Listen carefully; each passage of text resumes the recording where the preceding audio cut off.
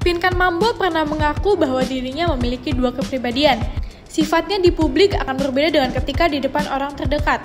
Kepribadiannya menjadi dua, lantaran kerap merasa tertekan selama bertahun-tahun. Saya itu sebenarnya punya dua karakter, yaitu pede banget dan saya sakit yang masih ada trauma gitu loh. Makanya, Pinkan di depan kamera berusaha kuat, kata Pinkan Mambo dalam YouTube Melanie Ricardo.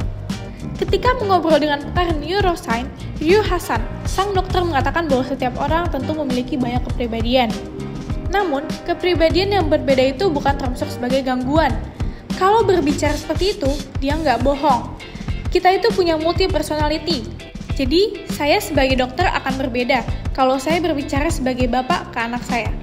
Jelas Dr. Yu Hasan mengutip kanal YouTube Inside Our Brand Selasa 22 Agustus 2023. Jadi, setiap orang memiliki kepribadian yang berbeda, dan itu tergantung pada siapa sosok yang sedang dihadapi. Begitu pula dengan Pinkan Mambo. Menurut Dr. Yu Hasan, apa yang diucapkan ibu dari Misha Ashley itu wajar. Jadi, kalau Mbak Pinkan punya dua atau tiga atau empat kepribadian ya wajar. Kamu juga, aku juga, semua orang punya, imbuhnya.